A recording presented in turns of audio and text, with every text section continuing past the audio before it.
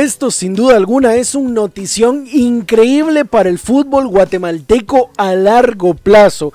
Y es que esta noticia sí, sí vale la pena de que se haga viral y la compartan con toda la gente que conozcan y le interese el fútbol de nuestro país. Y es que les cuento, todos estos días se ha estado hablando del Mundial de 2030, especialmente por lo raro que será, ya que se jugará en tres continentes, imagínese usted. Es un Mundial sumamente raro, algo nunca antes visto, pero sobre todo algo que a mucha gente le pareció bueno, pero a la mayoría le pareció desagradable.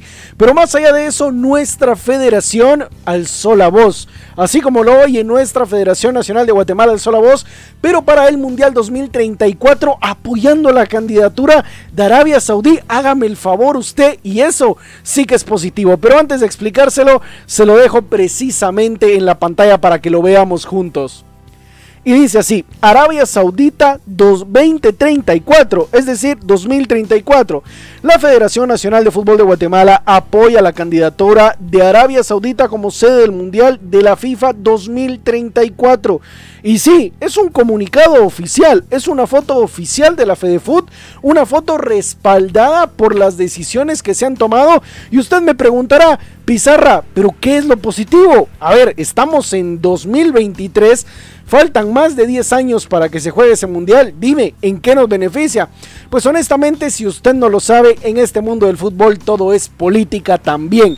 Y que la Federación Nacional de Guatemala haya hecho este comunicado a 11 años prácticamente del mundial significa que hay alianza. Es decir, Guatemala ha hecho una asociación, ha hecho alianza por debajo de la mesa, obviamente, por diferentes intereses positivos que benefician a Guatemala, para alzar la voz y apoyar la candidatura tan cuestionada claramente de Arabia Saudita para 2034.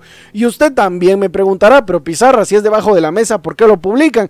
Porque obviamente no van a publicar los intereses. A ver, esta foto es de poder individual, es decir, la Federación Nacional de Guatemala puede alzar la voz cuando se le dé la gana, por lo que se le dé la gana, pero obviamente como todo es política en este mundo de fútbol, nadie alza la voz si no gana nada a cambio. En este caso la única selección que puede salir beneficiada es Guatemala, ya que obviamente Arabia Saudita sí tiene para ofrecernos recursos, plata, estadios y etcétera y etcétera. Ojo, no estoy diciendo que obligatoriamente nos van a dar un estadio y van a construir un país nuevo dentro de Guatemala. No es así, pero seguramente tendremos el apoyo y tendremos el brazo fuerte de Arabia Saudita de ahora en adelante. Y por eso es tan positivo, porque incluso hasta pueden haber acuerdos de amistosos. Guatemala necesita jugar con alguien que juegue con Arabia Saudita. Al final de cuentas ya hay una amistad, obviamente política con sus recursos, con sus cosas positivas, pero es una amistad entre comillas y creo que usted entiende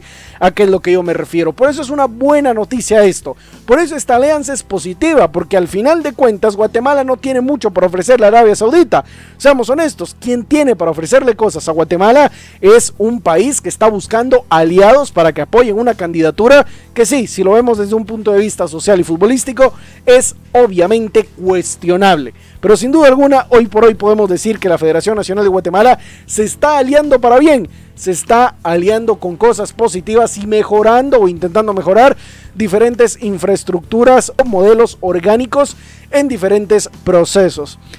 Así que eso es una gran noticia, sin duda alguna, creo que se vienen cosas buenas para Guatemala, obviamente faltan 11 años para ese mundial si es que se llega a hacer ahí, así que vamos paso a paso, pero esto es un paso increíblemente grande que ustedes no tienen la idea de cómo en un futuro mediano y largo plazo nos puede ayudar.